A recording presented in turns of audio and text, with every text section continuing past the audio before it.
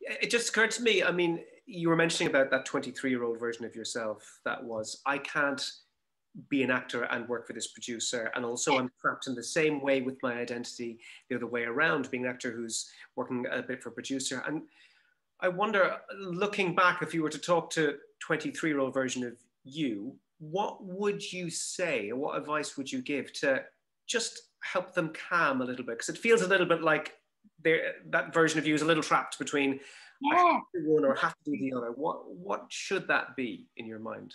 So I had a directing professor um, at university, um, Tim Basson, who very sadly um, passed away too young. Um, and he gave me some advice when I was leaving, which was write, because if you write, you will produce.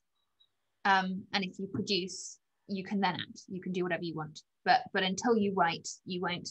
And I think that is for solid, solid advice. I, I wish I had taken it on board. And I think I looked at it and thought, oh, well, in America, maybe that's true. But in the UK, people don't want actor writers. They'll just think I'm, you know, again, I, I you know, unless I'm 100% an actor, they, they won't take me seriously.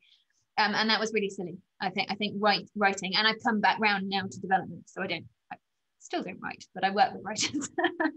um, and then I think the second one, which I now tell people, and I used to hate hearing it, I used to hate hearing it, is it doesn't matter where you start. It just matters that you start.